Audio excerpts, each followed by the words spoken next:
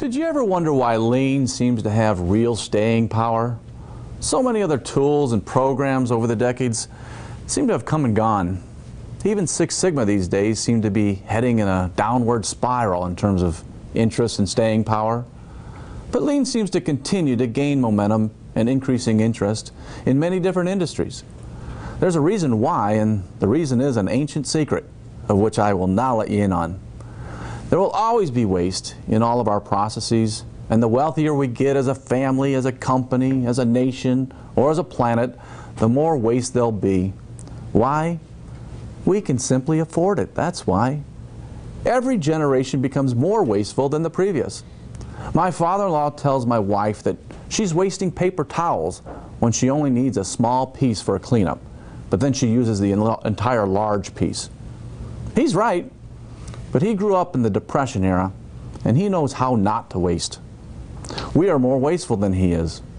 On the other hand, one of my kids once complained of being thirsty because we are all out of water, bottled water. I showed my child the path to the kitchen sink and the abundance of good, clean water in our house. Our children are more wasteful than us, and this pattern will continue on infinitum as we accumulate wealth. But I digress. Lean professionals will always have job security as long as we accumulate wealth and one other secret, as long as we don't teach people how to do effective root cause analysis. We need lean professionals today because of all the waste and band-aids that have been accumulated over the years by not solving root causes to all of our problems. So as lean professionals do their Kaizen events and suck some of the waste out in certain processes, the rest of the company continues to add waste to the organization because they still don't know how to get to the root causes of their problems and prevent more waste from entering the system. It's like a person who surgically gets their stomach stapled but then continues to eat the same amount and the same things. It's also like trying to drain a pool during a hurricane.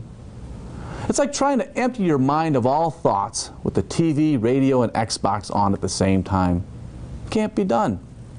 Lean professionals will always have job security, and lean will live on as long as we remain oblivious and ignorant to root cause analysis. I'm Mike Micklewright, the wise guy.